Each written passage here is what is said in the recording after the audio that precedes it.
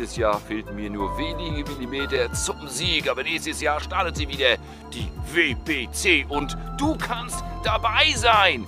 Wir starten nämlich das WBC Junior Cup. Das heißt, ein Tag, einen freien Tag zwischen der Competition werden wir mit jungen Leuten und ihrer erwachsenen Begleitung zum Angeln rausfahren. Und äh, das Ganze wird natürlich gelost und ich würde mich freuen, wenn einer von euch dann mit mir mitfährt und wir dann zusammen gemeinsam richtig im Tournament fischen also bewerbt euch einfach, schaut rein bei worldpredatorclassic.com und ich drücke euch ganz fest die Daumen und vielleicht sehen wir dann uns bei der WPC in Hellevoetsluis in Holland. Schöne Grüße, ja, und denkt immer dran, Zeit ist Fisch, dann euer Jan.